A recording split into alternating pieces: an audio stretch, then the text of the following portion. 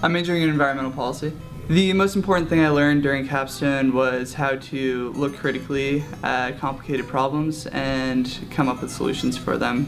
For my project, I proposed an environmental house on campus. This would be a themed residential uh, living area for students to apply to and then live. The idea is that it could serve as a location where students who are like-minded could go to and have services available to them, such as a wood shop or a bike repair station, something where they could put their minds together and maybe come up with solutions for some of our larger problems like climate change.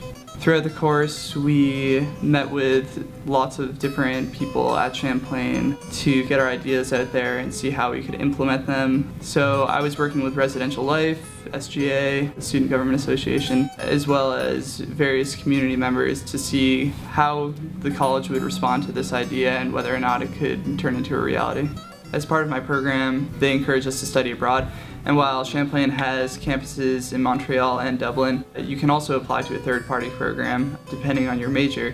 So in environmental policy, I wanted to go somewhere different, somewhere maybe a little more challenging, and somewhere that was in uh, transition period as far as environmental policy goes. So I chose to go to Nepal, which is an extremely diverse and interesting country. I had a great time there, and I was really appreciative of how Champlain worked with me to incorporate that into my semester here.